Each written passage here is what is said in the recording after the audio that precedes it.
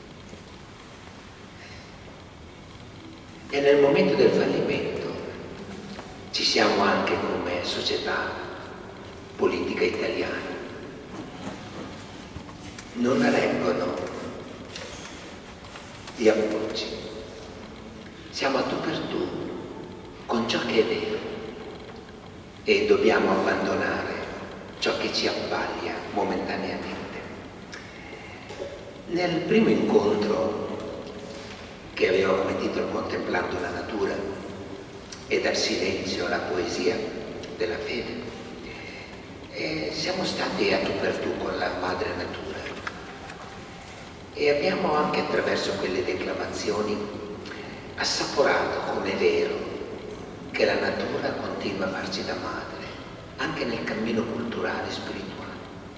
Ci politica, ci dischiude, ci essenzializza, ci fa scoprire, ci fa,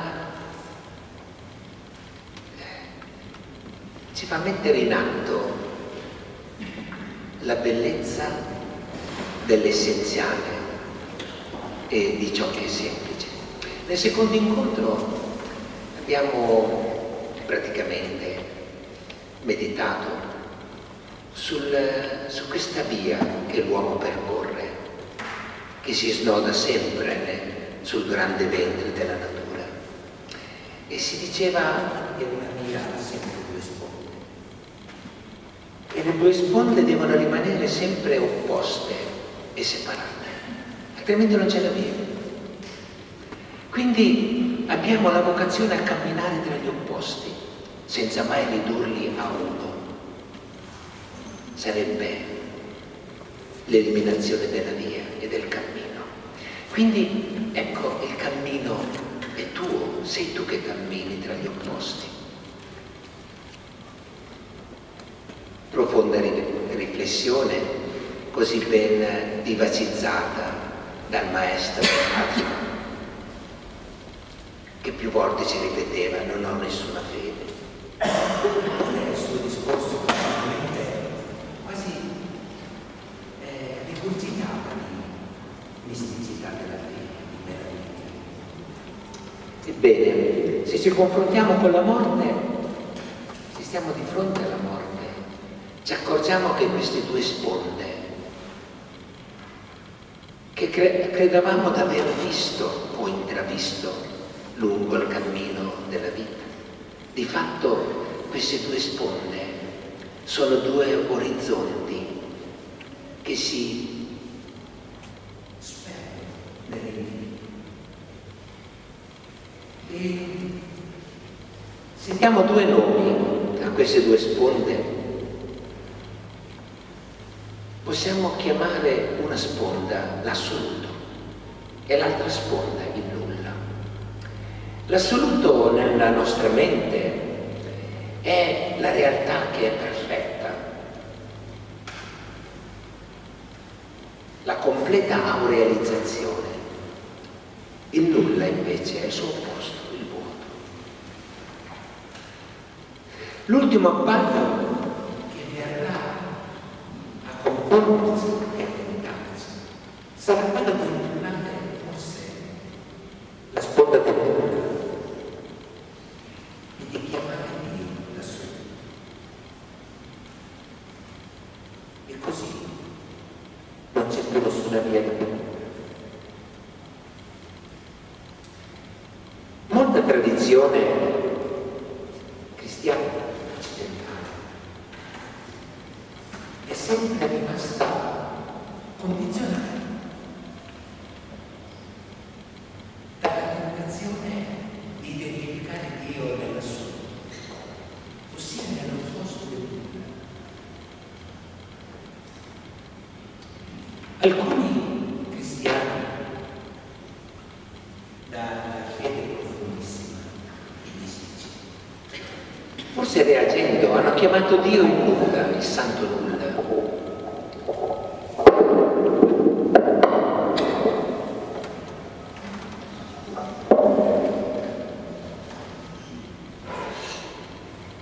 Identificare Dio nell'assoluto conduce al dogmatismo, al fondamentalismo. Identificare l'ultima realtà nel nulla conduce al fatalismo. La separazione tra il tutto e il nulla rimarrà. Perché l'assoluto e il nulla sono qualità di Dio.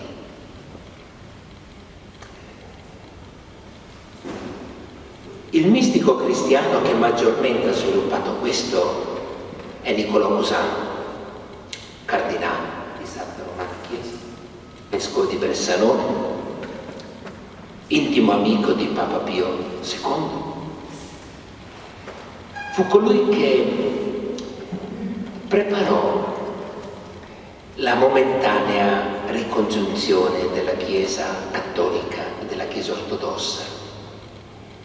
Fu lui che accompagnò a Firenze, al Concilio di Firenze, il patriarca di, Arto, di Costantinopoli.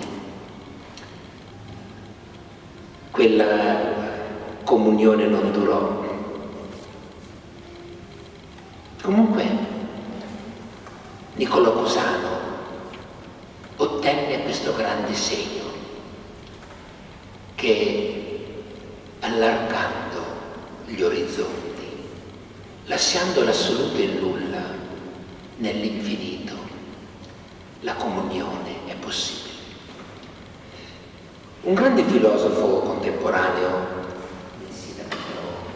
ha dato inizio ad una ricerca filosofica comunemente chiamata la scuola filosofica di Kyoto. A Kyoto c'è anche una via chiamata la via dei filosofi, dove Nishida Kitaro quotidianamente eh, passava per recarsi all'università. E Nishida Kitaro, di formazione buddista, precisamente dello Zen, praticante della meditazione Zen, conoscitore di Heidegger o di Barth, di Niccolò Cusano, e dedicò l'ultima sua opera a Dio. Lui, figlio di una religiosità dove non si nomina Dio. E vi leggo alcune sue espressioni. Eh, le traggo da un libro che voi userò nuovamente avanti, la logica dell'uomo. la visione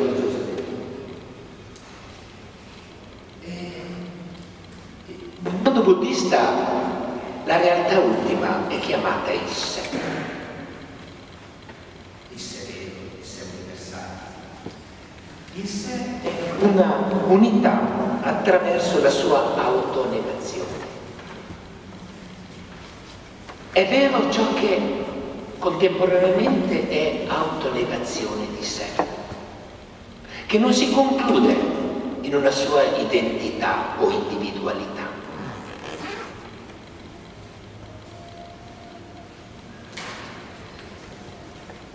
Possiamo pensare l'essere in ciascuna direzione di ambedue le parti, le due sponde appunto, ma ciò che esiste da se stesso e si muove da se stesso, cioè la vera realtà, non si incontra in nessuna delle due. Essa esiste nell'identità contraddittoria di queste due direzioni. Ciò che è vero è sempre intimamente contraddittorio, è sempre un cammino tra due opposti.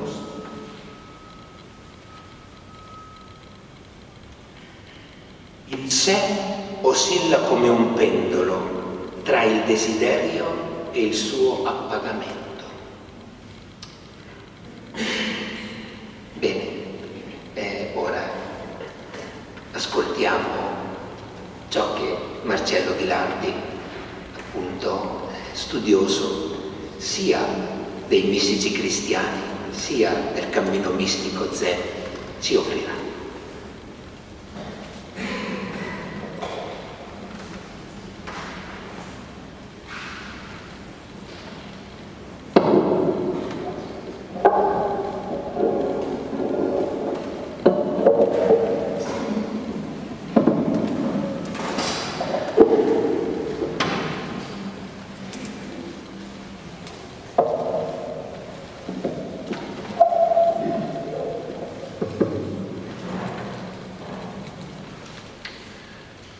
Padre Luciano ha esordito toccando quelli che sono i temi fondamentali della filosofia e quelli che sono i temi in cui la filosofia, diventando pienamente se stessa, incontra la religione, la verità e la morte.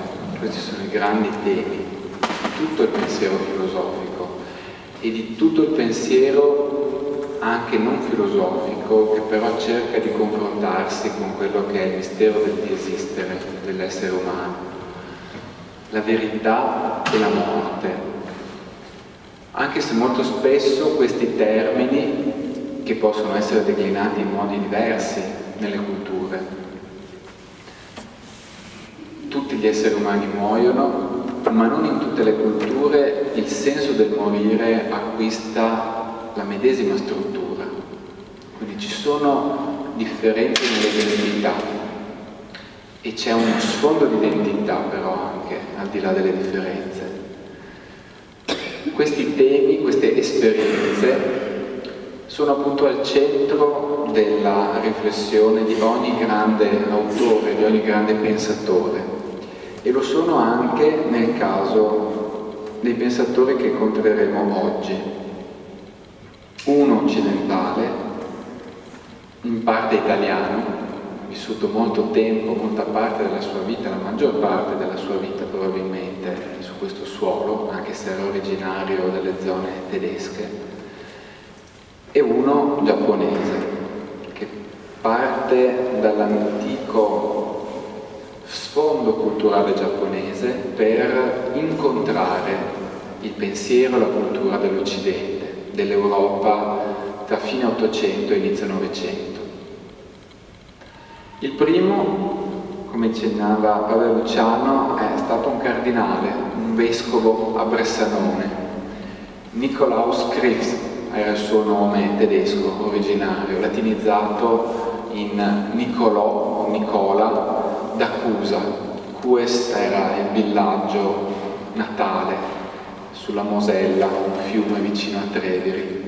Nasce nel 1401 e muore nel 1464, quindi siamo in piena epoca dell'umanesimo. L'Italia in quel secolo è un paese florido, in alcune regioni soprattutto, è un paese in cui la cultura si sta ampliando, si sta diffondendo. E il giovane Niccolò viene a Padova dalla natia Germania per studiare, per studiare diritto, si laurea in diritto canonico, poi studia filosofia, studia teologia, diventa in breve tempo uno dei pensatori più influenti della sua epoca, tanto che appunto cardinali, papi lo invitano a avere una parte importante, un ruolo fondamentale nella Chiesa dell'epoca. Sarà anche uno dei promotori del concilio di Basilea nel 1400 al di sopra o al di sotto, ciò che è sfondo e ciò che è trascendente, ciò che sta oltre. Non posso pensare di definirlo, ma non posso nemmeno evitare di farlo. Non posso pensare che la mia definizione dica il tutto di ciò che vorrei definire, ma non posso nemmeno tacere soltanto. Devo sapermi muovere su questa via da due sponde. E questa è la difficoltà, questo è il grande compito, la grande sfida del filosofo e diversamente del poeta. Oggi transiteremo anche tra queste due sponde, la parola filosofica e la parola poetica, che in modi diversi, a loro modo rigorosi di entrambi. C'è un rigore della parola filosofica che non è il rigore della parola poetica e viceversa.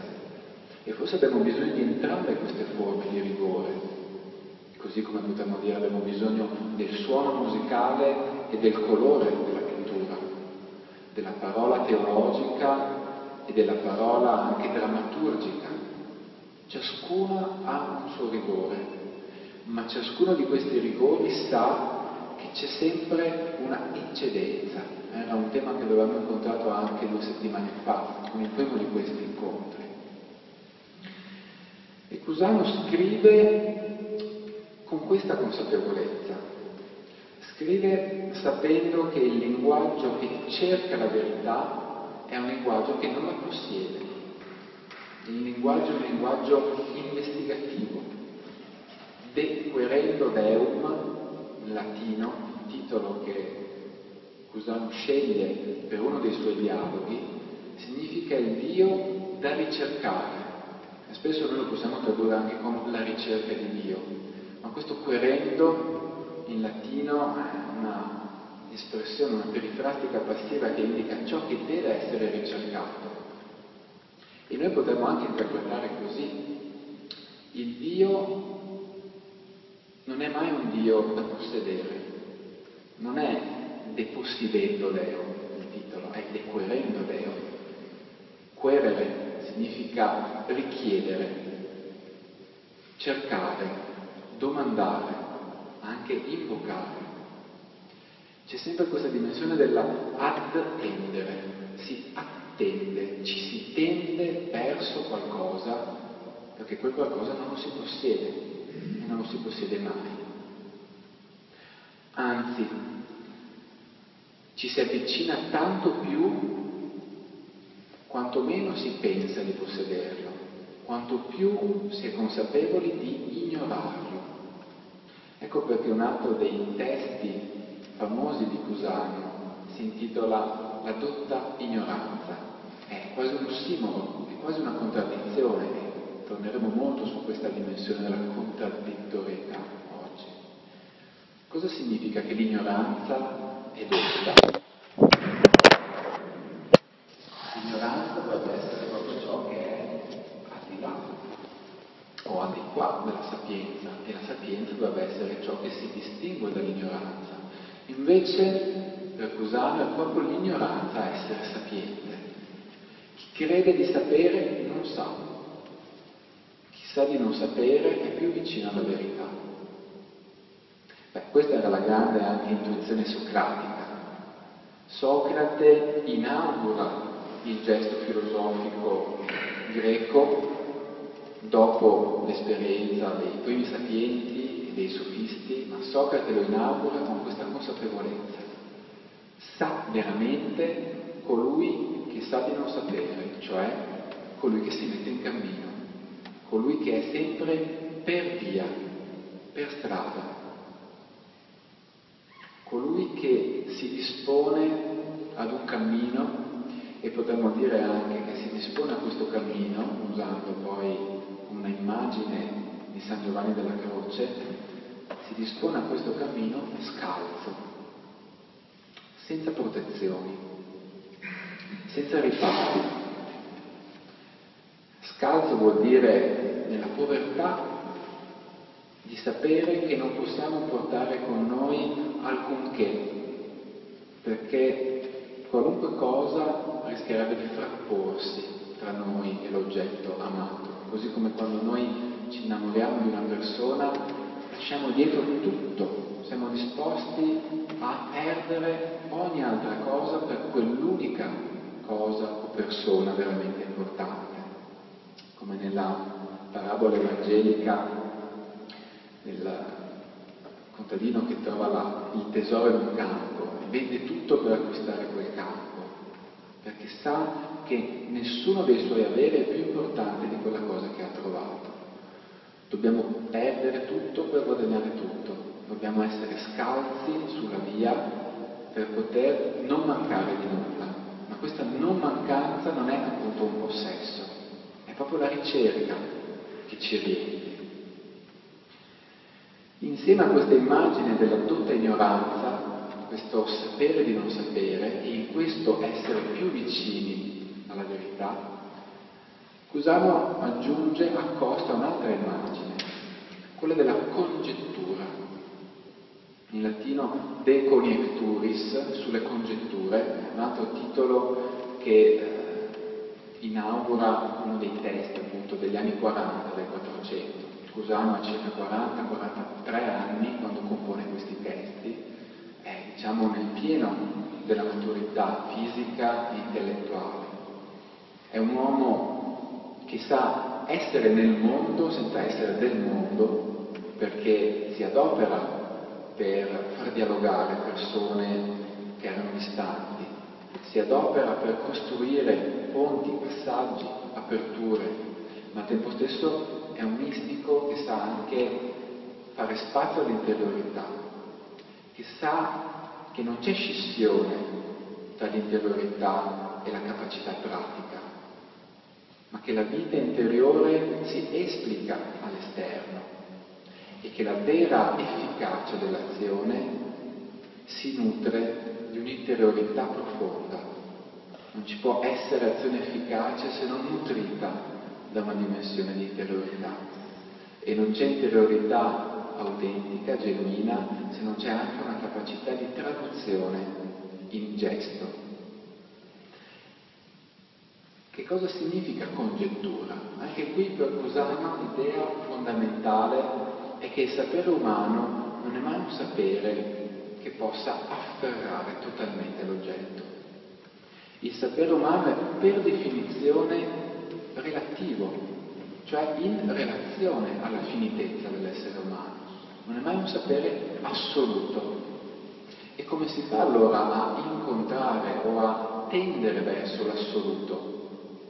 Se questo nostro sapere di cui disponiamo, se le parole che noi utilizziamo sono sempre parole relative, noi parliamo sempre in una lingua particolare.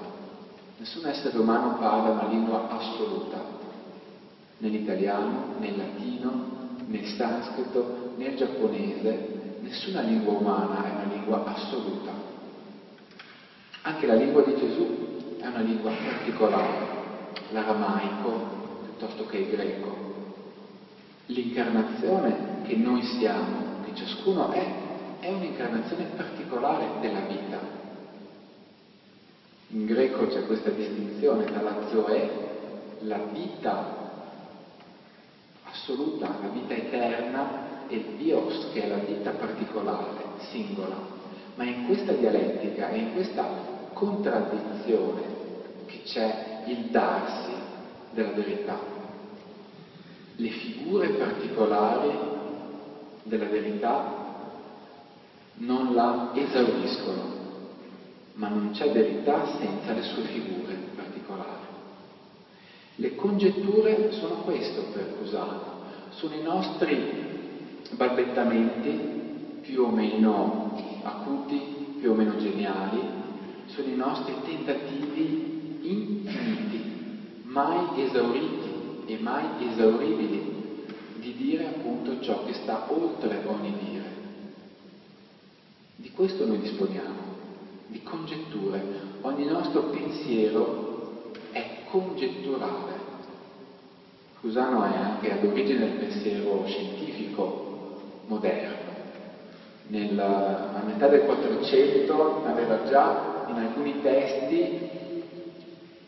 eh, scritto e intuito il fatto che essendo l'assoluto infinito, infinite sono anche le sue figure e infiniti possono essere anche i suoi mondi e quindi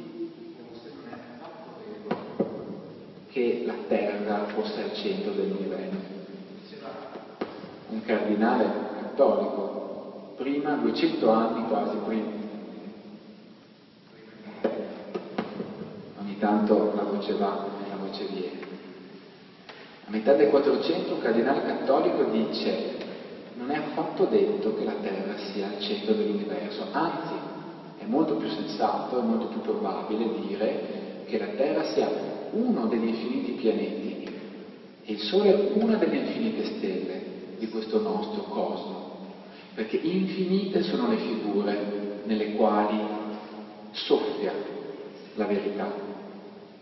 Quindi pensate anche qui da un punto di vista scientifico, da un punto di vista teologico, l'ardimento e l'intuizione di, di questo sacerdote, di questo filosofo, di questo teologo. E quindi ogni linguaggio che tenta di esprimere l'assoluto deve sapersi finito, limitato, ma in quanto finito figura dell'assoluto. Quindi si rovescia anche la dimensione apparentemente negativo-pessimistica. Ah, che peccato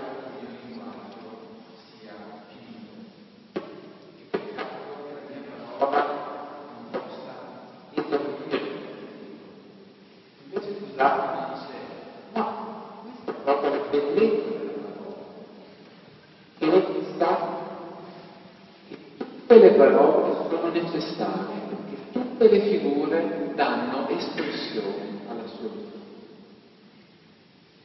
È come se la ricerca di Dio fosse aperta a infinite possibilità. È come se nella mia ricerca io avessi bisogno anche di compagni di viaggio. Io potessi ricavare nuova linfa da altre parole, da altri linguaggi, da altre esperienze. Il sé, il mio particolare sé, il sé di ciascuno, vive, abita in questa disseminazione, in questa dispersione, che non significa che si dissolve in un mare indistinto, ma significa che non è autonomo nel senso di diviso da tutto il resto ma è sempre invece intrecciato con tutto ciò che lo circonda. Abitare questa dispersione significa entrare in contatto con la pluralità della vita, con questa eccedenza dell'assoluto. Possiamo ignorare la dispersione, possiamo disconoscere il ruolo essenziale dell'altro, ma così ci chiudiamo la possibilità di incontrare veramente la vita. Ci chiudiamo la possibilità di entrare in contatto con una via tra queste due sponde. E quindi in un certo senso rischiamo di chiuderci la possibilità di vivere veramente.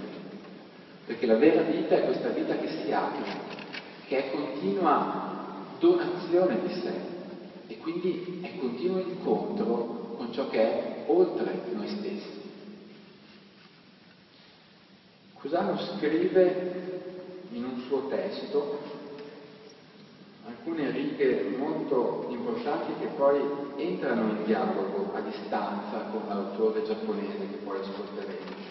Scrive a partire da un sermone di San Paolo e dice, l'Apostolo Paolo disse che noi siamo in Dio e ci muoviamo in Lui. Siamo infatti dei viandanti.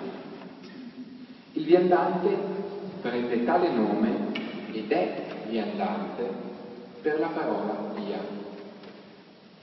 Se si domanda pertanto a un viandante che cammina o si muove in una via infinita dove si trovi, risponderà nella via. E se gli si domanda dove si muova, la sua risposta sarà nella via. E se gli viene chiesto da che cosa si muova, dirà dalla via e se sarà interrogato circa la sua meta, dirà ancora dalla via alla via. In tal modo la via infinita viene designata come il luogo del viandante ed essa è Dio. Quella via al di fuori della quale non è dato trovare alcun viandante è dunque l'essere senza principio e fine, dal quale il viandante ricava tutto ciò che è e dà, a partire da cui è viandante. Questa via è il luogo e questo luogo è Dio. Parole che Nishida Kitaro, di cui tra poco anche ascolteremo qualcosa, potrebbe aver sottoscritto perfettamente. Dio non è un ente al di sopra degli enti, per usarlo, non è un super ente così come Cristo non è un super uomo. Dio è al di là della dicotomia essere non essere. O se preferiamo è al di qua, è quello sfondo a partire da cui essere non essere come opzione originaria del pensiero occidentale, in particolar modo, si dà. Poi vedremo che in Giappone è altro il modo anche di pensare, nulla contrapposto all'esserci. Ma se noi pensassimo di definire Dio in qualche modo, già appunto ecco, lo faremmo diventare qualcosa di posto, qualcosa di detto, qualcosa di afferrato. Allora Dio non sarebbe veramente Dio. Il luogo in cui Dio sarebbe sarebbe il mio linguaggio, sarebbe il mio pensiero. Se io pensassi di poter esaurire Dio, dicendo anche che è al di là dell'essere.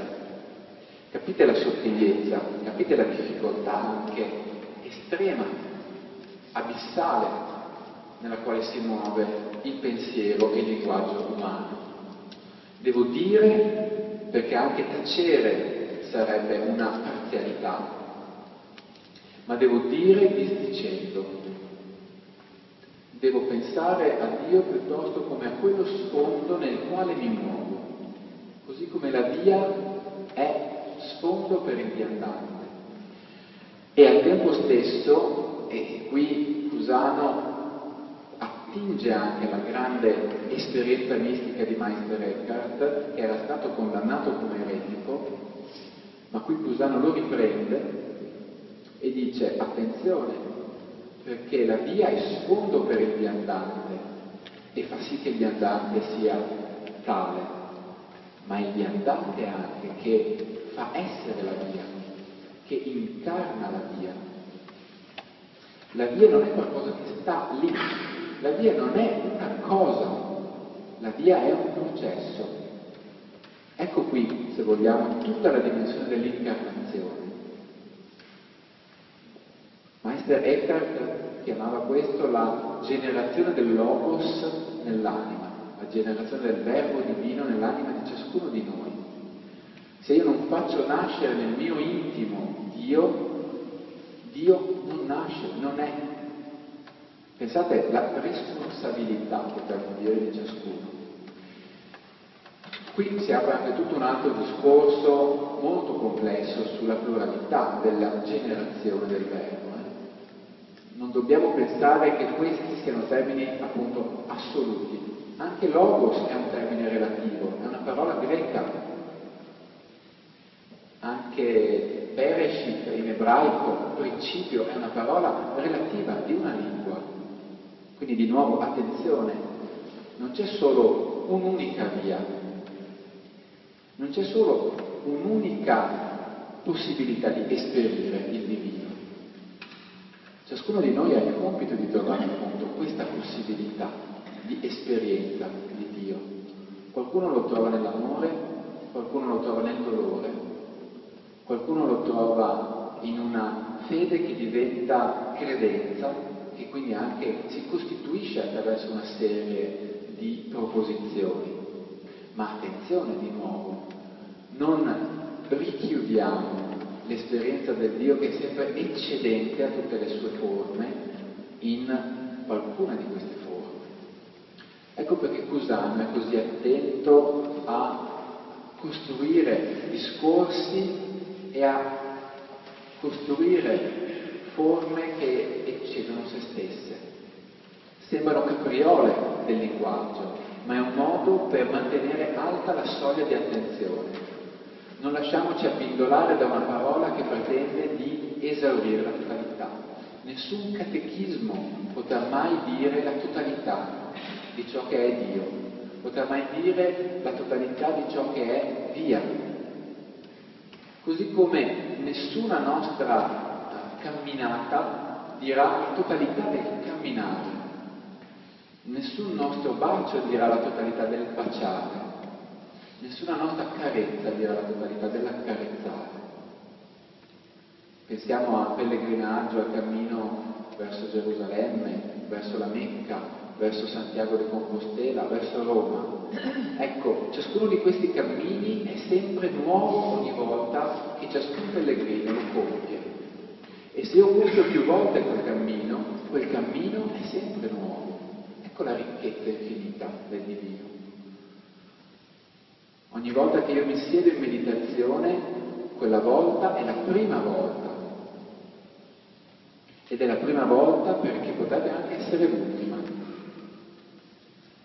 Proviamo a pensare in questo modo ogni nostro gesto.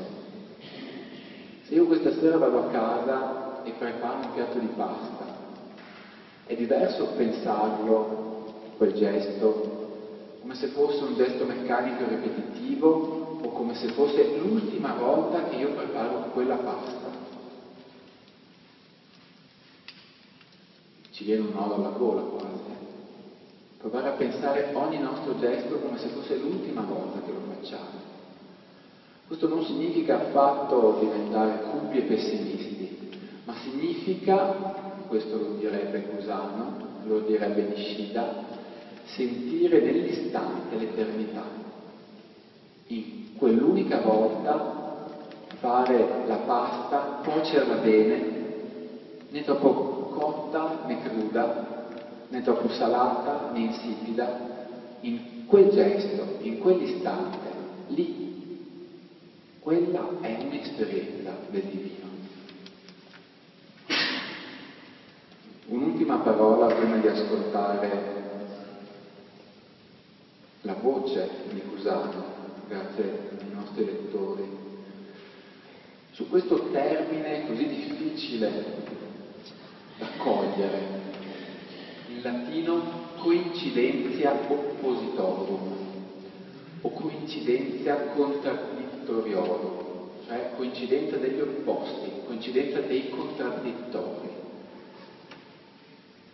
Perché Dio è questo, è coincidenza di ciò che è contraddittorio. Cusano utilizza degli esempi molto spesso tratti dalla geometria, dalla matematica. Cusano dice, provate a pensare a una circonferenza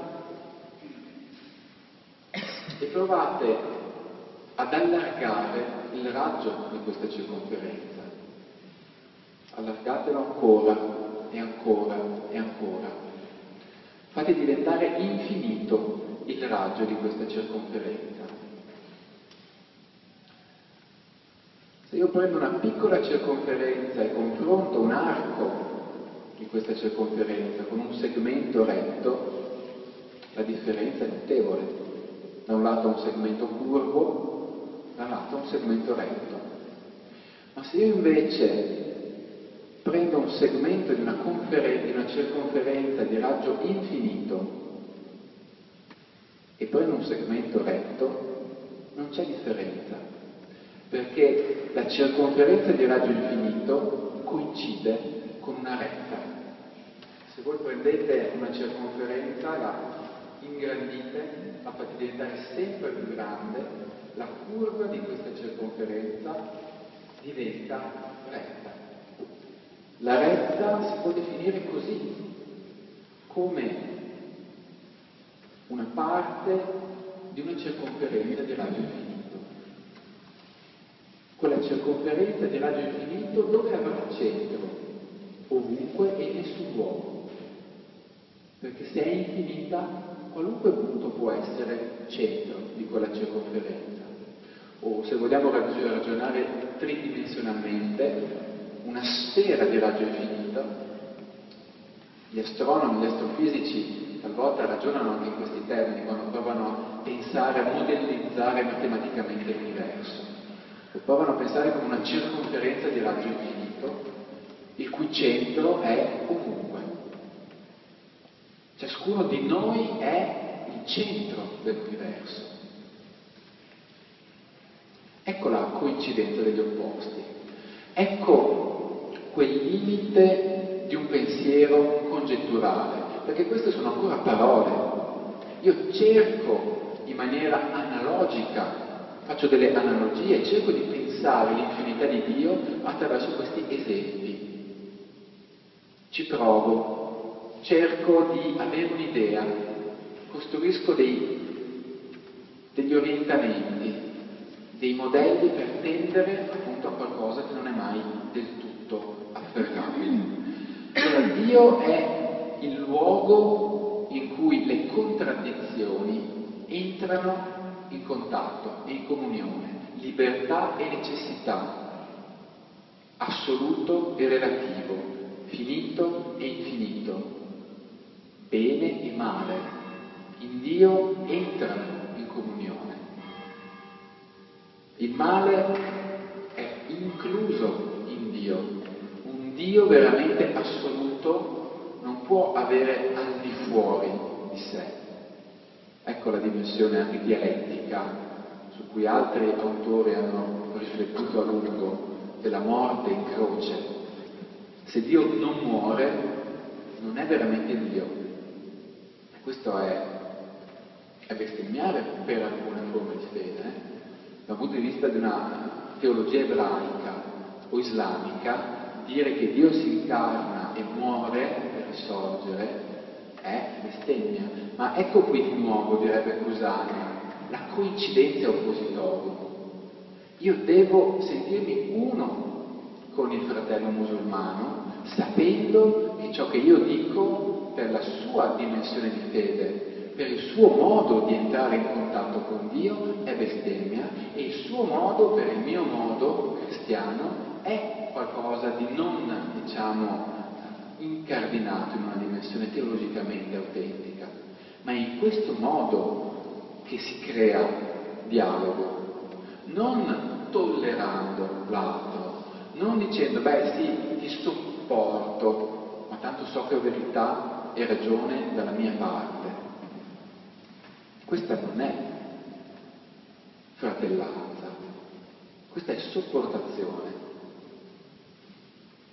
La difficoltà, ma la vera sfida è sentirsi uno nella differenza, sapere che non ci sarà mai una differenza talmente forte da impedire ad una unità più ampia di tenerle insieme e al tempo stesso sapere che non ci sarà mai unità talmente forte da schiacciare le differenze.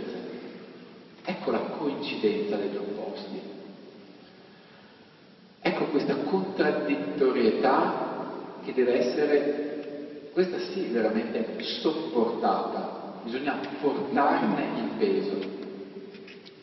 Bisogna riuscire a accogliere, a farsi luogo per questa contraddizione. È chiaro che se io fondo la mia adesione ad articoli di fede sulla possibilità del linguaggio di esprimere il vero e se voglio che questo linguaggio non sia contraddittorio, perché la verità per essere tale non deve essere contraddittoria, se questo è il mio fondamento, allora non posso pensare alla contraddizione. Se fondo sulla proposizione logica la verità, allora devo escludere la contraddizione.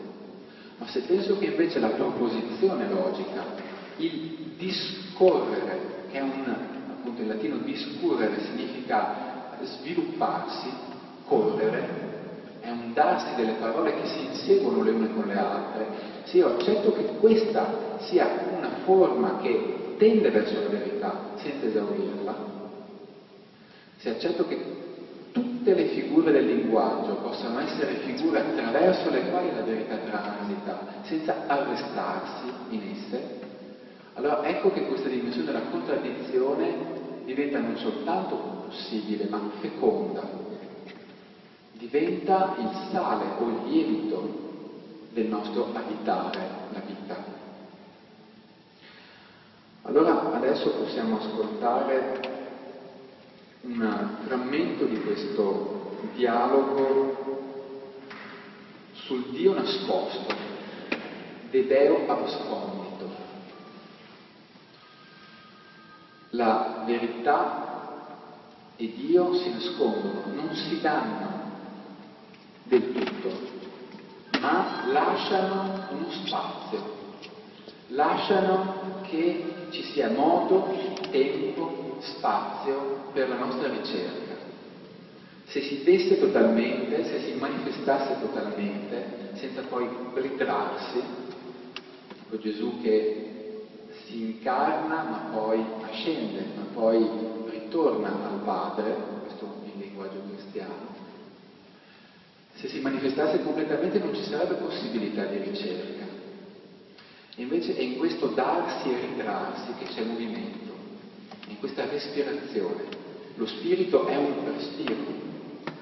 E quindi sul Dio nascosto è il titolo di un dialogo tra un cristiano e un gentile, come lo chiama Cusano. I gentili erano i pagani, erano coloro che non erano entrati nella dimensione della fede cristiana, ma qui vediamo il gentile non come l'avversario, non è colui che sta al di là, su un'altra sponda. L'adversarius in latino è questo, è colui che sta verso, contro di noi. No, il gentile, il pagano, è colui che cammina con il cristiano e insieme dialogano, colloquiano, si chiariscono a vicenda le idee. Qui in questo brano soprattutto il gentile che chiede al cristiano di renderlo in parte edotto su ciò in cui crede e ne viene anche spiazzato. Viene spiazzato perché il cristiano mostra che non c'è un articolo, una frase, una proposizione assoluta, non c'è qualcosa che mette a posto tutti i conti, ma è questo appunto il movimento dell'andare che è la sostanza della sua fede. Allora ascoltiamo la Versare lacrime d'amore, non false in verità, ma sincere. Vorrei chiederti, chi sei? Sono un cristiano. Che cosa adori? Dio. Chi è? Dio che adori? Non lo so.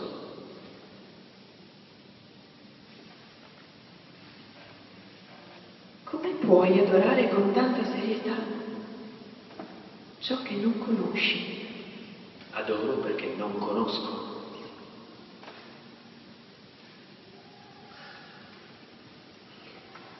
Trovo sorprendente che un uomo possa essere preso da ciò che ignora. Mi meraviglia di più che un uomo sia preso da ciò che crede di conoscere. Perché mai? Perché conosce meno ciò che crede di sapere di ciò che è certo di ignorare.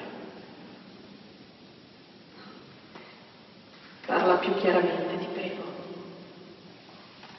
Dal momento che non si può conoscere nulla, mi sembra folle chiunque ritenga di sapere qualcosa.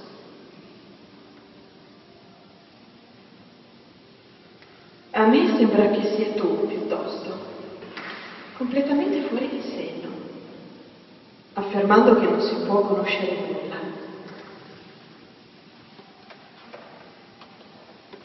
Ti prego, fratello, di guidarmi, così che io possa intendere quel che dici del tuo Dio. Rispondimi, che cosa sai del Dio che adori? So che tutto ciò che conosco non è Dio e che tutto ciò che concepisco non è simile a Lui. Egli è, infatti, al di sopra di tutto.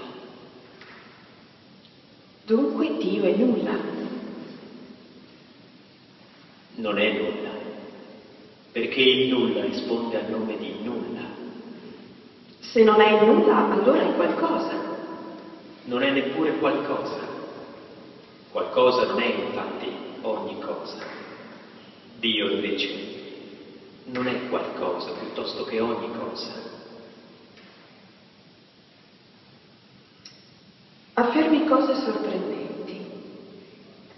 Che il Dio che adori non è né il nulla né qualcosa. Nessuna ragione in grado di afferrare tali verità. Dio è al di sopra del nulla e del qualcosa. Il nulla gli obbedisce, infatti, per divenire qualcosa. E questa è l'onnipotenza divina. Grazie ad essa, in verità, egli supera tutto ciò che è o che non è, così che gli obbedisca sia ciò che non è, sia ciò che è. Egli fa sì che il non essere giunga all'essere e che l'essere passi al non essere. Pertanto, non è nessuna di quelle cose che sono al di sotto di lui e che la sua onnipotenza precede. Ecco perché, essendo tutte le cose da lui, non si può dire che Dio sia questo piuttosto che quello. Può essere nominato? Piccola cosa è quella che ha nome. Ciò la cui grandezza non può essere concepita resta ineffabile. Ma Dio è ineffabile. Non è ineffabile, ma esprimibile al di sopra di tutte le cose, dato che è causa di tutte le cose nominabili. Come può essere privo di nome colui che dà il nome alle altre cose? È dunque esprimibile e inesprimibile a un tempo. Neppure questo. Dio non è la radice della contraddizione, ma è la stessa semplicità che precede ogni radice. Non si deve perciò dire che è esprimibile o inesprimibile a un tempo.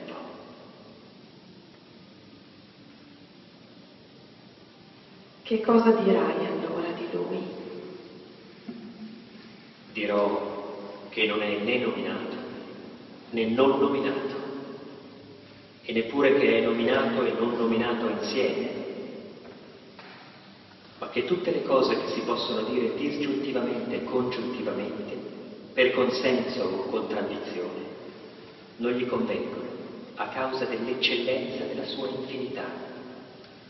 Egli è infatti il principio unico, anteriore ad ogni pensiero, che sia possibile formulare intorno a lui.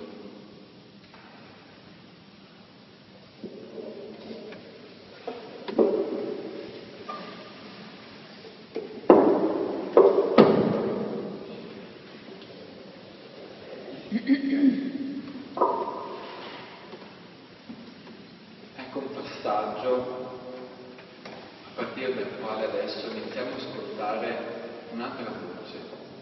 Chiedo al padre Luciano di tornare qui per introdurre il pensatore giapponese di cui avete già ascoltato il nome, Nishida Kitaro. Kitaro è il nome, Nishida è il cognome, quasi un destino. In giapponese Nishida significa campo d'Occidente un giapponese che nasce nel 1870, muore nel 1945, un mese, due mesi prima della fine della guerra in Giappone, e che attraversa la grande trasformazione del Giappone in questo tornante di secolo. Studia sui classici cinesi, come tutti gli studenti della sua generazione ancora facevano, ma al tempo stesso appartiene alla prima generazione che inizia ad aprirsi ai classici filosofici europei, legge in tedesco, legge in inglese, un po' in latino e in greco, e quindi inizia a costruire una filosofia per la prima volta in Giappone che tenga insieme esperienza tipica del suolo giapponese, l'esperienza dello zen che praticava e il linguaggio, la concettualità, l'esperienza filosofica europea.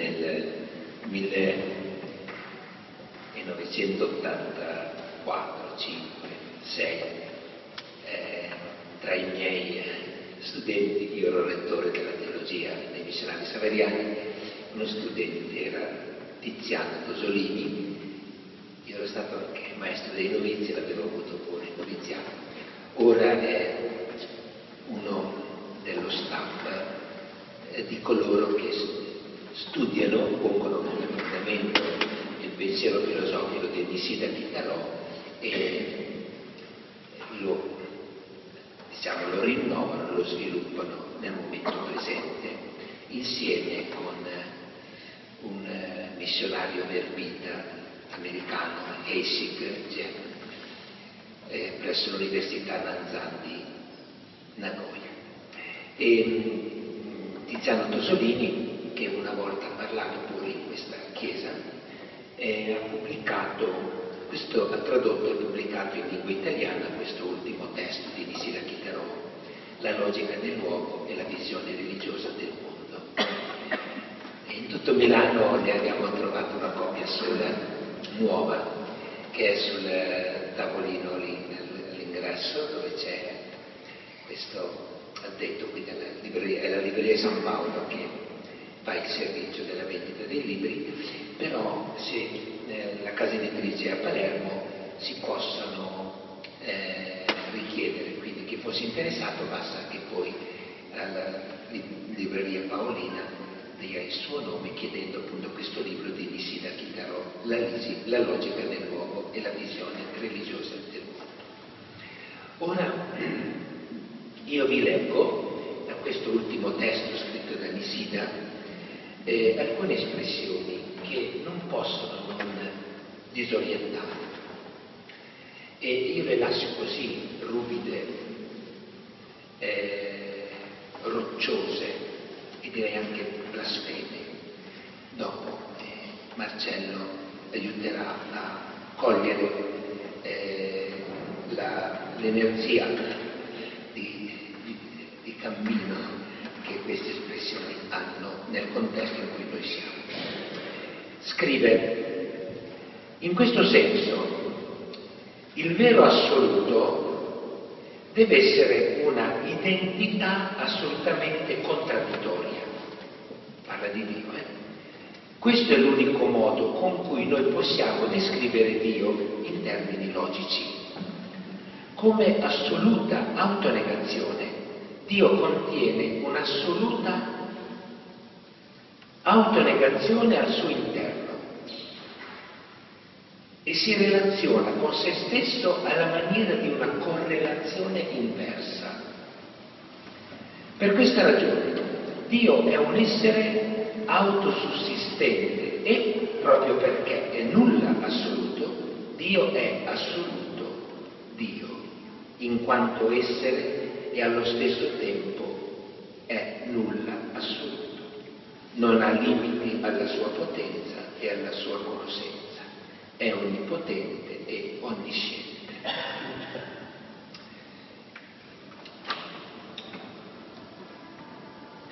Poi scrive più avanti, per, può sembrare estremamente assurdo, ma il vero Dio assoluto deve possedere un aspetto diabolico. Solo così possiamo dire che Dio è veramente onnisciente ed onnipotente.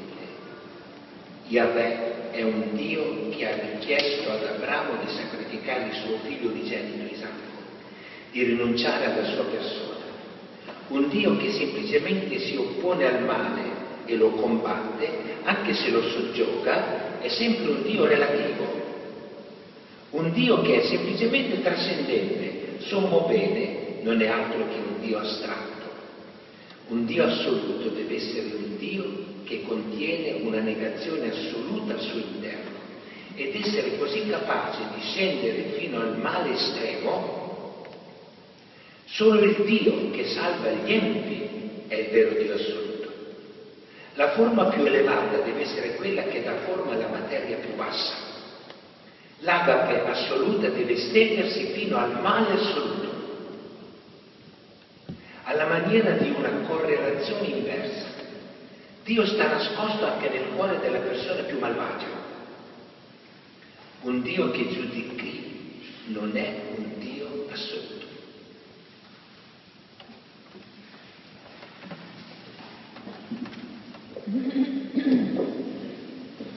Duro compito spiegare questi testi.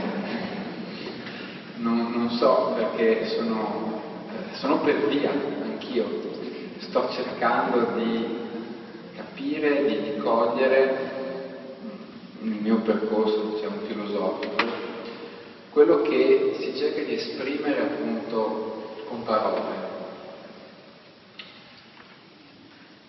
Due cenni sul percorso di Nishida anche per capire da dove nasce questo tipo di filosofia. I brani che Padre Luciano ci ha letto sono tratti da questo testo che è l'ultimo scritto da Nishida, pochi mesi prima della morte lo conclude, 1945, quindi è un testo tardo, scritto a 75 anni circa, che già, come dire, eh, sente alle sue spalle 50 e oltre anni di cammino. Il primo testo importante di Nishida l'aveva pubblicato a 40 anni circa, 40-41, 1911. Una tappa significativa per una svolta del suo pensiero arriva a 55-56 anni col testo Luogo. Ecco perché prima avevo letto quella citazione da Cusano in cui parla della via come il luogo del viandante, perché questo termine in giapponese basho, luogo è uno dei concetti che Nishida utilizza per indicare proprio questa dimensione assoluta, divina, ma non trascendente, non soltanto trascendente. La chiama anche luogo del nulla assoluto, dobbiamo entrare un po' piano piano, in confidenza, in punta di piede all'inizio, in questo difficile vocabolario filosofico. Nishida, come dicevo, eh, è un po', eccolo qua, alle mie spalle, il punto di convergenza di una tradizione giapponese che incontra l'Occidente, che viene quasi anche invasa dalla metà, seconda metà dell'Ottocento il Giappone subisce una profonda trasformazione, una profondissima crisi. In realtà una crisi che diventa mutazione. Chissà se noi stiamo forse vivendo una fase simile. In realtà tecnicamente la crisi è un momento discriminante rapido, quindi forse noi non siamo veramente in una crisi, ci, ci viene detto che siamo in una crisi, ma non è così. In senso greco, crisis, dal punto di vista medico, è il momento in cui si dirime una situazione, o si guarisce o si muore. Invece quando una crisi diventa qualcosa di strutturale, allora forse stiamo assistendo a una mutazione, a una trasformazione economica, politica, culturale. È difficile, stando all'interno, coglierla. Facile a distanza di 50 o di 100 anni. Beh, Nishida è vissuto in una situazione del genere. In un'epoca in cui i suoi coetanei andavano anche letteralmente in depressione perché non capivano più qual era il loro posto come essere giapponesi a fine 800, inizio 1900, quando la occidentalizzazione del mondo sta dilagando e sembra anche schiacciare i valori propri del mondo nipponico, anche del mondo cinese, anche del mondo indiano. C'è questa lunga trasformazione che però Nishida cerca di volgere in maniera creativa, in maniera propositiva, non si tratta di subire l'influsso occidentale, ma si tratta di incontrarlo, di scoprire la ricchezza la positività di ciò che il pensiero occidentale ha da offrire, senza negare la ricchezza, la fecondità della propria tradizione culturale. Ecco perché è così interessante anche la sua esperienza che fonde pratica dello Zen, che non è filosofia, o non solo filosofia, è una pratica corporea. Si tratta di sedersi e di respirare. Si tratta di trasformare una pratica particolare, la meditazione seduta, in una vita vissuta in maniera nuova. È una pratica che dal particolare trasforma l'universale. È una pratica che dall'universale della vita si concentra in particolari momenti.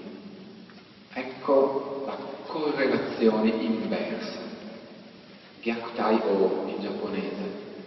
Correlazione inversa dal singolo all'universale, dall'universale al singolare, dal divino all'umano, dall'umano al divino. È una dimensione dialettica in cui nessun elemento è separato, è tagliato, è distaccato dagli altri. In un suo testo Nishida scrive, la gente pensa che io stia sempre discutendo dello stesso problema, ma fin dal mio primo libro, quello che aveva scritto a 40 anni, qui scrive che ne ha 70, il mio scopo è stato quello di vedere le cose da una prospettiva più fondamentale, nella maniera più diretta possibile. Ho cercato cioè di afferrare quel fondamento da cui tutto emerge e a cui tutto ritorna. Ecco il fuoco, ecco la dimensione fondamentale questa ricerca durata tutta una vita.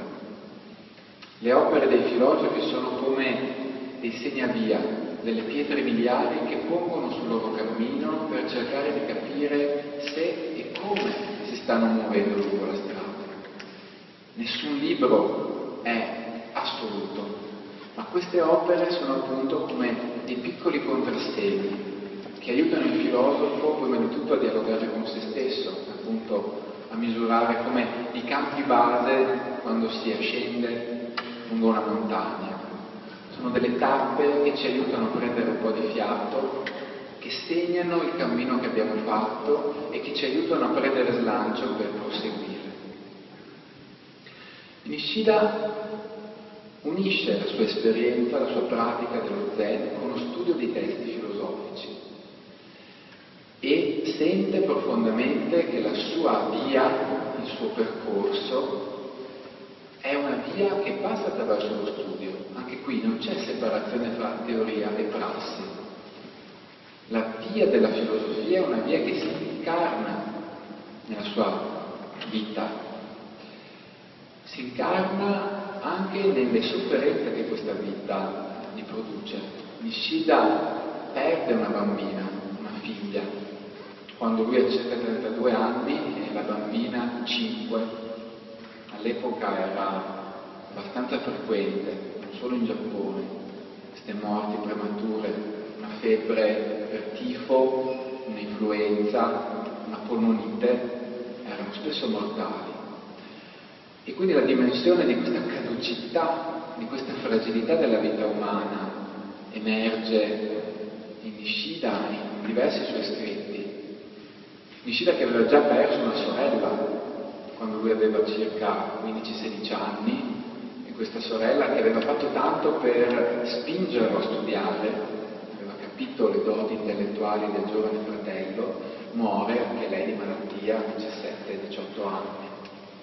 Quindi una vita che si confronta con il dolore, che sa che cosa significa e sente profondamente che il lavoro filosofico, pratica filosofica, non è qualcosa di avulso dal reale. Nessuna pratica compiuta con intensità è avulsa dalla vita. Ogni punto è vita essa stessa che noi siamo ingegneri, filosofi, insegnanti, artisti. Quest'ultimo testo, che scrive appunto sulla soglia dei 75 anni, ha un titolo complesso, La logica del luogo e la visione religiosa del mondo. Unisce queste idee di luogo, metafora, nome per alludere all'assoluto, a ciò che non è afferrabile dal concetto, ma che è sfondo di ogni concetto, a ciò che non è circoscrivibile da nessuna vita particolare, ma che è il luogo a partire da cui tutte le vite emergono e in cui tutte le vite si immergono.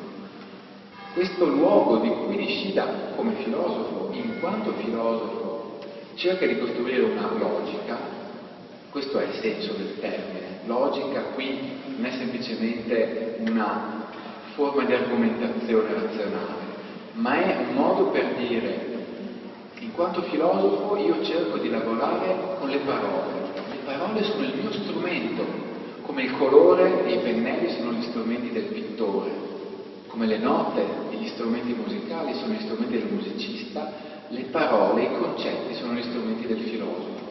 E quindi un filosofo che non vuole abdicare al proprio ruolo cerca di costruire forme logiche, però di questo luogo che è al di fuori, è al di sopra della logica, che non è logico esso stesso, ma che si può intendere attraverso il linguaggio. Logica del luogo e visione religiosa del mondo. Il mondo viene visto attraverso una esperienza, attraverso una intuizione religiosa che però non è in ultima analisi distinta da un'intuizione filosofica, da un'intuizione morale, da un'intuizione artistica del mondo. Questa è una delle verità che piano piano si fanno luce nel pensiero di Nishida. Secondo lui, in ultimo, al loro apice, tanto l'esperienza artistica quanto quella filosofica, quanto quella etico-morale, quanto quella religiosa convergono. In questo sfondo infinito tutte queste esperienze sono unificate, ma non perché siano abolite le loro distinzioni. L'artista è artista il religioso è religioso, c'è dialogo, c'è comunità, ci può essere intreccio, ma c'è anche distinzione. Non dobbiamo confondere la distinzione con la separazione. Le cose possono essere distinte senza essere separate. La distinzione è la ricchezza della pluralità, che permette all'unità di avere tanti colori. È come la luce bianca che è la sintesi di tutte diciamo, le sfumature, di tutte le frequenze delle onde. Allora questo luogo del nulla assoluto non è il luogo in cui nulla accade. Ecco qua il termine nulla, in giapponese m,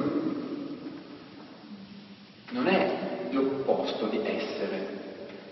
Noi occidentali facciamo fatica a penetrare questo tipo di discorso perché la nostra tradizione culturale filosofica e anche la nostra tradizione linguistica si è sviluppata soprattutto attraverso queste forme di contrapposizione che ci hanno aiutato a leggere il mondo in un certo modo e anche a operare efficacemente in esso, ma che ci hanno impedito di vedere altre sfumature.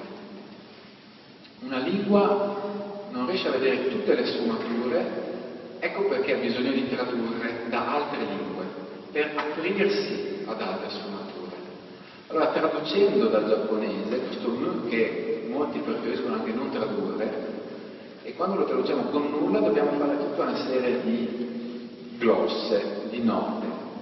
Non è il nulla contrapposto all'essere, non è il non essere, non è il nulla del nichilismo, altro grande abbaglio. Siccome nel buddismo, nello zen si parla di nulla, allora una grande vulgata ha detto, ah, che pessimisti, che nichilisti questi buddisti, dicono che tutto è nulla, dicono che nulla esiste. No, esattamente il contrario potremmo dire. Il nulla è lo sfondo a partire da cui tutto nasce, tutto emerge, tutto si immerge. È quell'orizzonte infinito di possibilità a partire dal quale la vita si dà, si offre e al tempo stesso la vita si ritrae. Vedete che questa metafora della respirazione continua a tornare, anche due settimane fa l'avevo utilizzata per cercare di veicolare in immagine un certo tipo di intuizione del mondo. Il nulla assoluto è quell'orizzonte universale che avvolge e contiene in sé ogni particolare. È quell'ineffabile e indeterminato sfondo in cui ogni forma, ogni figura, appunto, si definisce, come nella pittura tradizionale giapponese. Dallo sfondo bianco della carta delle figure emergono, ma non sono definite queste figure. Non c'è un contorno netto che le delimita, perché qui la sapienza giapponese traduce in immagine questa consapevolezza, che c'è questo continuo passare, trapassare tra il visibile e l'invisibile. La forma c'è, la figura si dà, si offre allo sguardo a partire da uno sfondo da cui si stacca. Senza quello sfondo non ci sarebbe figura e viceversa quello sfondo si definisce come sfondo a partire dalle figure che da esso si distaccano. Nel momento in cui c'è una figura, ecco lo sfondo. Ma se io ritaglio quel dipinto e vedo quello sfondo questo manifesto, lo sfondo bianco da cui emergono le figure, e vedo quello sfondo come figura, l'ho nominata, l'ho detto, ho costruito un concetto, ho detto Dio, ho detto nulla, ho detto assoluto. Ecco che lo sfondo vero e proprio retrocede. Questo sfondo bianco per le figure è di nuovo figura esso stesso e lo sfondo è ciò che sta dietro. È come se io ogni volta che cercassi di nominare qualcosa facessi retrocedere un po' quello sfondo a partire da cui quella cosa nominata è nominata. Se io dico Dio è l'ente supremo, Nishida mi direbbe attento, l'ente supremo è una figura, non è lo sfondo.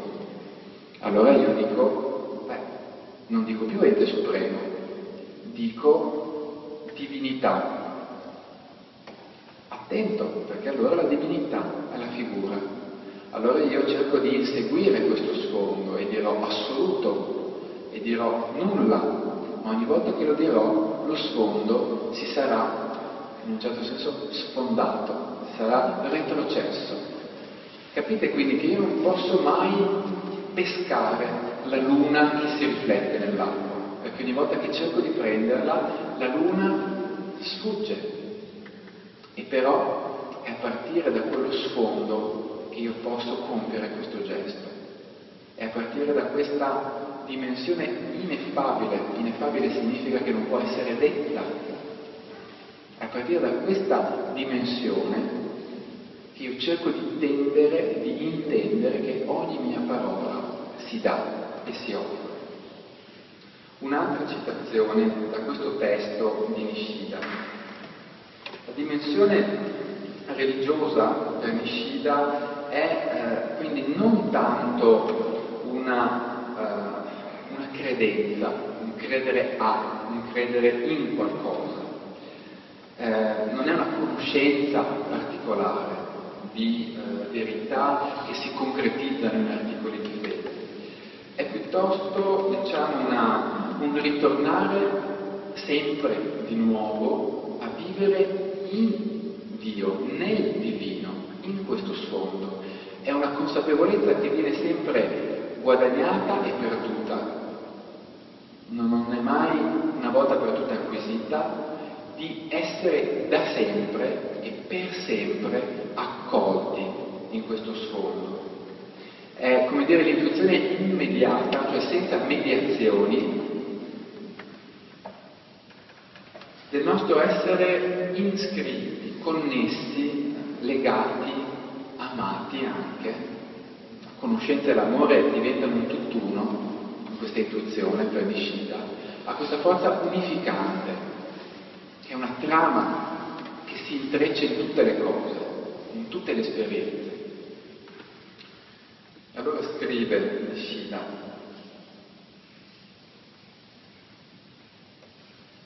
Perciò il sé è un'esistenza autocontradittoria. Da una parte esso riflette il mondo in sé, il mondo in totalità, lo sfondo infinito si concentra e si riflette nel sé, da una parte, e dall'altra possiede se stesso in un altro assoluto. Ecco la correlazione inversa di nuovo. Perché sé è autocontraddizione? Perché da un lato è la complicazione, questo è un termine di Cusano, il sé complica, co-implica, cioè tiene insieme come una sorta di eh, piegatura infinita, come se io avessi grande, un grande foglio e lo ripiegassi in tante tante tante parti fino ad avere un foglietto ripiegato. Questo è il sé co-implicazione dell'assoluto, ma al tempo stesso io posso esplicare, posso dispiegare questo sé e far ritornare quel foglio infinito. L'assoluto nel relativo, il relativo nell'assoluto, l'infinito nel granello di polvere, la goccia d'acqua come assoluto mare. Anche la fisica contemporanea utilizza queste immagini. Un singolo atomo, con tutte le sue particelle subatomiche, ha immagine dell'universo infinito, con tutti i suoi pianeti che girano. Qui possiamo moltiplicare a piacere le metafore e le analogie, che sono utili per cercare di avvicinare da altre prospettive un linguaggio così difficile. Capite la complessità sono vari linguaggi per avvicinare l'assoluto. Questo è uno dei linguaggi. Nishida cerca appunto di costruire razionalmente, logicamente un modo per dire questo. E qui c'è un'altra preziosa indicazione. Quando dice che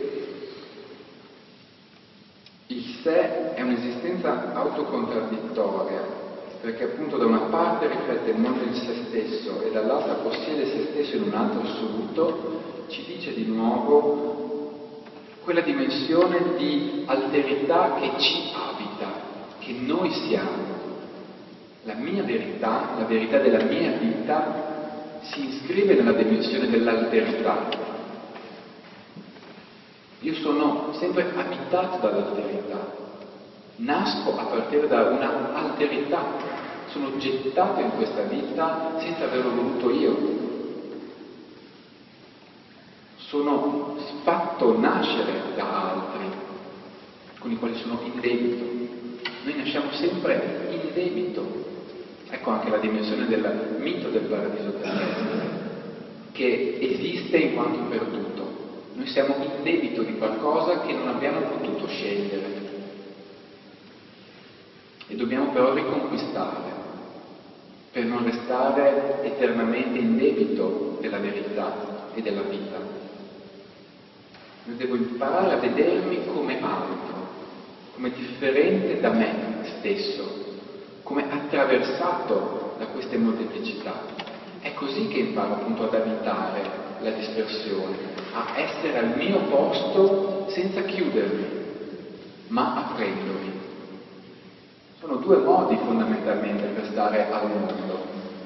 Un essere al mondo, uno stare al proprio posto chiudendosi, e si possono fare benissimo tutte le proprie azioni quotidiane, eh? si può vivere tutta la vita così, ma si rischia di non incontrare mai veramente se stessi. E l'altro modo invece, che richiede forse molta più fatica, è quello di abitare, di stare al proprio posto però aprendosi, quindi restando esposti, abitando nella esposizione all'altro. Esporsi significa appunto anche essere feriti, significa come dire avere pelle viva e non corazze che proteggono. Abitare questa dispersione che è il sé, è il compito appunto che anche la filosofia cerca di portare avanti e che è anche forse un po' la traccia di questi nostri incontri, questi sabati di aprile. Questa alterità che si incontra non per dire tutti abbiamo detto la stessa cosa, ogni percorso è assolutamente identico. No, non c'è anche qui l'appiattimento delle differenze, c'è il mantenimento della ricchezza della pluralità, ma nell'incontro, nella possibilità di procedere insieme.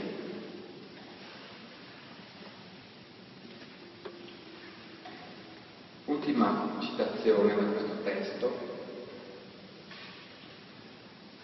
di appunto ricco che veramente richiede tempo per riuscire a, ad assaporarlo, a gustarlo. Un Dio che fosse semplicemente trascendente e autosufficiente non sarebbe un vero Dio. Dio deve sempre possedere anche un aspetto di svuotamento, un aspetto kenotico, cioè kenosis in greco significa vacuità, vuoto, impoverimento, abbassamento, diminuzione aspetto kenotico di Dio nella tradizione teologica, quindi Shida consapevole, pensate, quasi un secolo fa, un giapponese che scrive con termini della teologia cristiana, non era una cosa comune. Un Dio kenotico è un Dio che si abbassa, è un Dio che si incarna, che si fa uomo, che muore. Questo dice di Shida che non è cristiano nel senso, diciamo, non è stato battezzato, non, è, non appartiene a una chiesa, a una confessione cristiana, ma qui sente una scintilla della verità che cerca per tutta la vita. Un Dio che fosse solo trascendente non sarebbe un vero Dio, sarebbe un Dio distante dal mondo Sarebbe un Dio che taglierebbe fuori una parte dell'esistente. Sarebbe un Dio solo pensato o sarebbe un Dio che non avrebbe assunto in sé anche la dimensione del corpo, della caducità, dell'impermanente. Proprio per questo un Dio che è totalmente trascendente e allo stesso tempo immanente, un Dio che è oltre la dimensione solo mondana, ma che al tempo stesso è anche in quella mondana, che non si limita a nessuno di questi due aspetti, ma che li comprende, perché è appunto quel luogo da cui tutto emerge, un Dio che è immanente allo stesso tempo trascendente, è un vero Dio dialettico. La dialettica qui è intesa come questa capacità di tenere insieme gli opposti, di contenere, tenere insieme. In quanto tale si può dire che Dio è il vero assoluto, solo se teniamo insieme immanenza e trascendenza, conoscenza e amore, libertà e necessità. Se riusciamo a essere talmente aperti da contenere queste dimensioni, allora riusciamo a entrare in comunione con questo Dio. Se si afferma che Dio crea il mondo per amore, L'amore assoluto di Dio non sarà un'opera dall'esterno, ma quest'opera sarà essenziale a Dio stesso. Il mondo non è altro da Dio, anche se Dio non si riduce al mondo. E questo l'avevamo incontrato con i haiku giapponesi, con San Francesco. Non è semplice panteismo, Nishida non sta dicendo Dio è soltanto quello che noi vediamo, è questo mondo qui. Sta dicendo Dio è anche in questo mondo, non è solo altrove. E quando voi non vi accorgete di quanta dimensione divina c'è nella carta di questo libro o nelle gocce di pioggia che cadono fuori, allora avete, abbiamo ancora un'immagine troppo ridotta di Dio. Così come avremmo un'immagine troppo ridotta se credessimo che Dio è solo pioggia, fiume, terra, aria, fuoco. Dio è queste cose ed è anche oltre queste cose. È lo sfondo di tutte queste cose e passa attraverso tutte queste cose. E Nishida fa anche un'altra bellissima citazione implicita, indiretta, in cui si eh, risente, risuona tutta la dimensione anche della, della parola di Cusano, perché eh, non sempre lo cita, non sempre lo dice in maniera esplicita, ma in alcuni punti sente che Nishida aveva letto Cusano, è rimasta tra l'altro la sua biblioteca e ci sono libri con i suoi appunti, ci sono i libri di Cusano anche. Ho spesso paragonato l'identità assolutamente contraddittoria, cioè ciò che io chiamo luogo, sono tutti sinonimi, Dio, luogo, luogo del nulla, nulla assoluto, identità assolutamente contraddittoria, Nishida è un forgiatore straordinario di concetti. Cerca di trovare ogni volta un modo per dire con parole ciò che va oltre le parole. Allora, ciò che io ho chiamato luogo l'ho spesso anche paragonato ad una sfera infinita che non ha circonferenza e il cui centro è ovunque. E questo è accusato. Non avendo un fondamento proprio, non avendo cioè un sostrato, assoluto, cioè slegato dagli altri, essendo nulla, perché al di fuori del linguaggio, al di fuori dell'essere, questa sfera dal carattere di identità contraddittoria riflette se stessa in se stessa. L'orientamento diretto dalla periferia alla circonferenza può essere negativo, quello che leggeva prima Padre Luciano, può essere diabolico. Se io chiudo questo sfondo e lo intensifico e credo che possa essere risolto in un'unica frase, in un'unica parola, fosse anche luogo, fosse anche Dio, allora l'ho perso. In questo senso è diabolico, cioè divide, separa. Se io credo di poter dire una frase definitiva sull'assoluto, allora quell'assoluto l'ho proprio perso. Ecco perché dice anche altrove di Shida, è più facile qui chiaramente l'assonanza evangelica, è più facile per un cammello passare attraverso la cruna di un ago che per un vero moralista essere un uomo di religione. È molto più facile per un cammello passare per la croce. Perché il moralista è colui che crede di avere risolto in una frase, in una etichetta, in un catechismo, ciò che invece si dà costantemente nella sua novità. Lo sfondo infinito è novità continua. Ogni bambino che nasce, ogni filo d'erba che spunta, ogni goccia di pioggia che cade è una novità del divino. E noi possiamo assumerla in un modo piuttosto che in un altro. Possiamo escludere l'alterità, possiamo chiuderci, erigere barriere, o possiamo invece aprire porte, costruire ponti. Ecco, io chiudo allora qui la mia tentativo, diciamo, di introduzione, non è altro che questo, al pensiero di questo autore giapponese. E lascio di nuovo però lo spazio e il tempo ad una parola che torna alla dimensione poetica. Abbiamo ascoltato parole filosofiche con fatica, ringrazio per la vostra attenzione perché non è affatto qualcosa di semplice da digerire questo tipo di, di discorso, questo tipo di logica. Non è che la poesia sia più facile, può però far risuonare altre corde e per alcuni cuori, per alcune orecchie può essere eh, una via migliore da seguire rispetto alla via filosofica. Non, è un problema, non deve essere un problema, ognuno ha la sua via da seguire.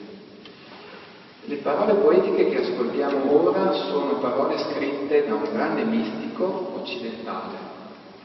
Ci piace tenere insieme queste sponde sapendo che sono sponde che non devono essere appiattite. Questo mistico eh, San Giovanni della Croce, San Juan de la Cruz in spagnolo, che nasce eh, all'inizio del Cinquecento, nel 1521, se non ricordo male, no scusate, 1542 e muore nel 1591, quindi un'epoca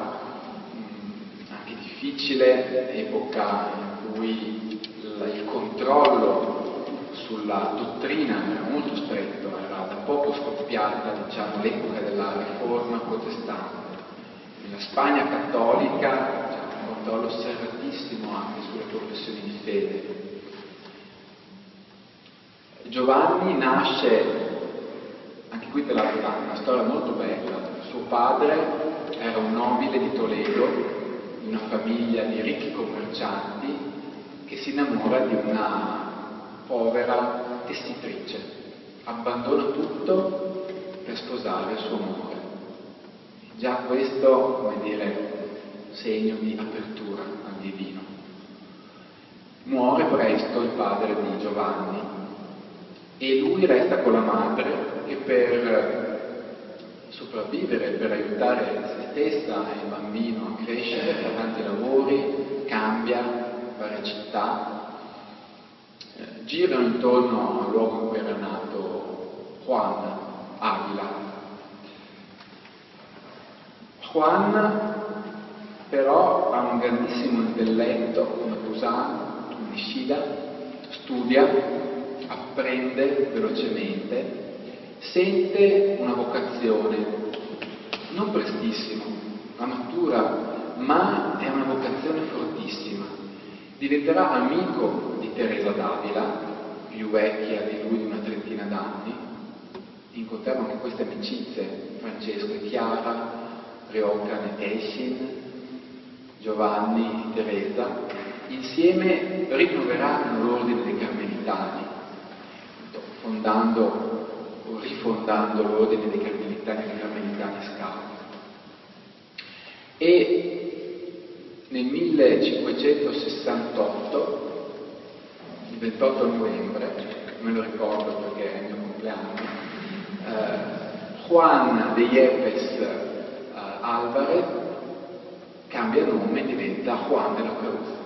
Sceglie in quel momento, a 26 anni, di chiamarsi in questo modo e di dedicare, di consacrare la sua vita a questo tipo di ricerca. E scrive trattati, è un fine eh, teologo e scrive anche poesie. Scrive poesie in cui esprime questo linguaggio la sua dimensione appunto mistica più profonda. E ascoltiamo allora due testi, uno per giungere a gustare il tutto, una sorta di distici che mostrano anche qui questo rapporto tra il tutto e il nulla. Nada, in spagnolo, è una parola che ricorre molto spesso nei testi di Giovanni.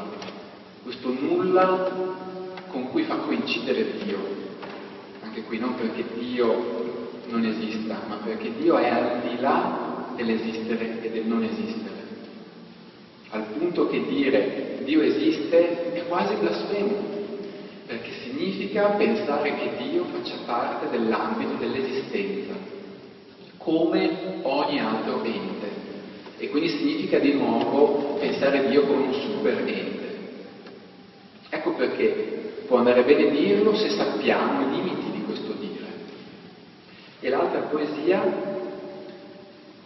specchiamoci nella tua bellezza, una poesia in cui si sente anche un altro motivo tipico della mistica, l'amore, il calore per le cose create. La mistica non è un perdersi in vane sofisticherie, non è un perdere il contatto con il qui ed ora soltanto per puntare alla trascendenza, ma è sentire la trascendenza nell'immanenza, sentire che la bellezza di questo fiore questo alito di vento, di questo suono di ruscello, è già segno, presenza viva del divino.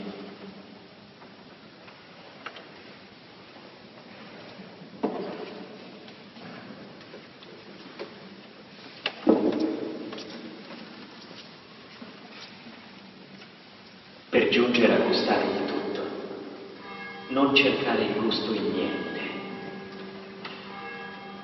per giungere al possesso del tutto, non voler possedere niente, per giungere a essere tutto, non voler essere niente, per giungere alla conoscenza del tutto, non cercare di sapere qualche cosa in niente, per venire a ciò che ora non godi, devi passare per dove non godi, per giungere non sai, devi passare per dove non sai. Per giungere al possesso di ciò che non hai, devi passare per dove ora niente hai. Per giungere a ciò che non sei, devi passare per dove ora non sei.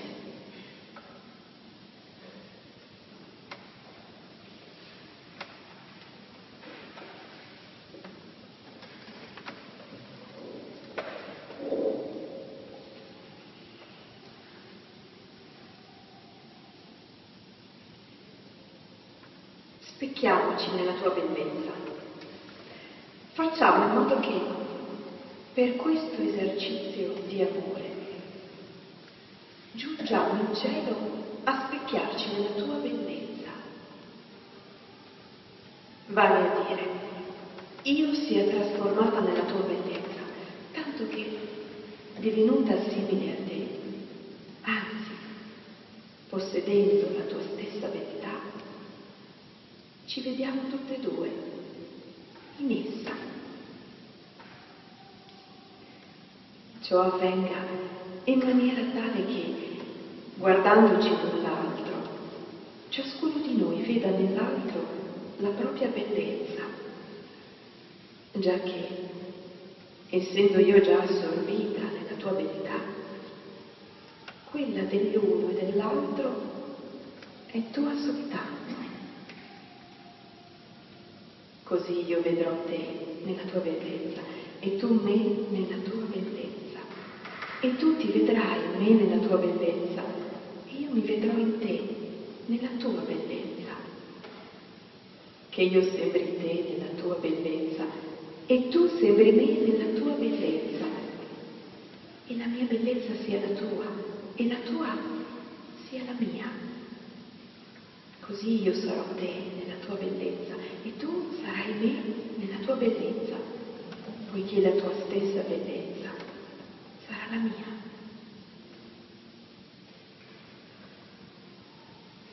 Cristallina sorgente. Se in questi tuoi riflessi inargentati formassi di repente gli occhi desiderati che conservo nell'intimo abbozzati, allontanali, amato, che fuggo a volo. Volgiti, colomba, che il cervo saettato dall'alto si protende al tuo passaggio e il fresco soffio rende.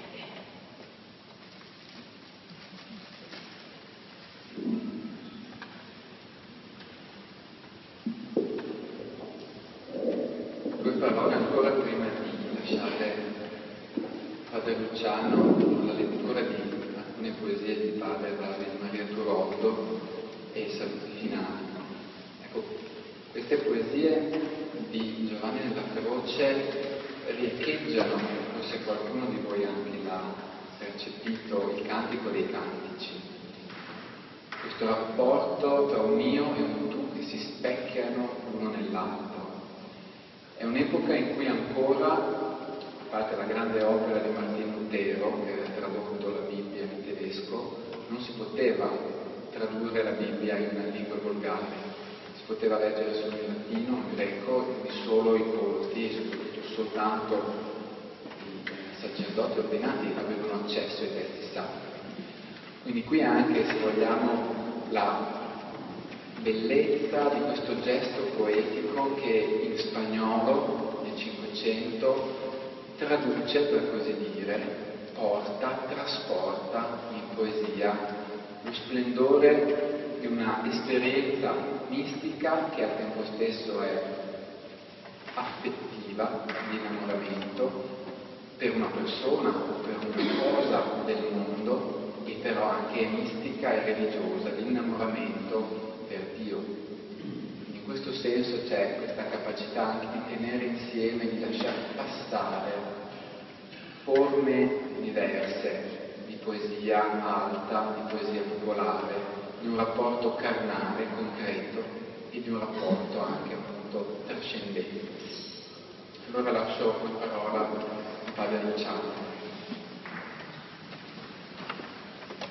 Ecco, vorrei avere il vocione di padre David Maria Turollo, purtroppo non ho. E, mentre la poesia di Giovanni della Croce si è fatto gustare l'aspetto idilliaco della comunione dell'io, che è il mio limite con il tu, che è Dio, che è l'infinito, che è il tutto. E nelle poesie di Turoldo troviamo la stessa esperienza, però più focalizzato il dramma eh, del dolore. Ecco lo stesso come nella poesia di Giovanni della Croce, la stessa esultanza dell'io e del tu in comunione. Il dramma che unisse l'uomo a Dio e Dio all'uomo. Ogni qualvolta l'uomo soffre e una lacrima cade, anche Dio soffre e una lacrima cade dai suoi occhi. Il nulla ti assale, misteriosa origine di astri e di lombrichi. Il settimo giorno, pure per te, è un sogno. Il nulla da ogni parte ti assale. Tu sai di essere la fonte anche dei virus e di tarli e di tignole e noi, coscienza di pensarti, senza sapere mai chi tu sia.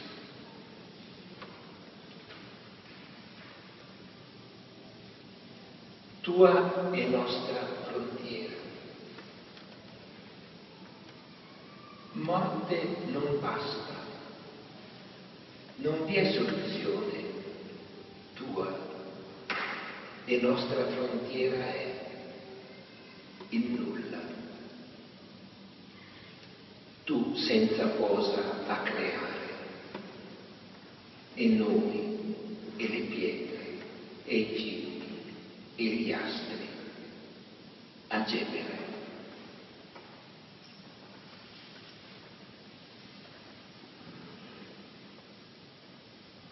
Se un attimo appena Eppure se un attimo di pensare tu sospendi e se un attimo, dico appena, il tuo respiro sottrai, fulmineo, il nulla di nuovo si inghiotte, l'intero universo, il nulla, tuo e nostro male.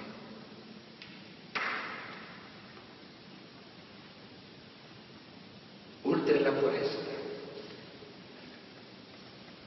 Fratello ateo, nobilmente pensoso, alla ricerca di un Dio che io non so darti. Attraversiamo insieme il deserto. Di deserto in deserto andiamo, oltre la foresta delle fedi, liberi e nudi verso il nudo essere.